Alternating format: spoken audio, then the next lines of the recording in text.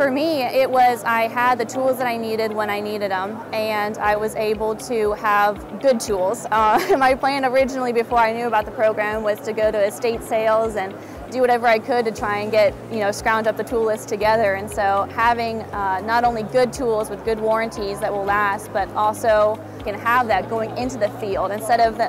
you know, having to buy a toolbox, big purchase after school, I'm slowly building it up now and able to um, have that all accumulated so I can just go straight for my job.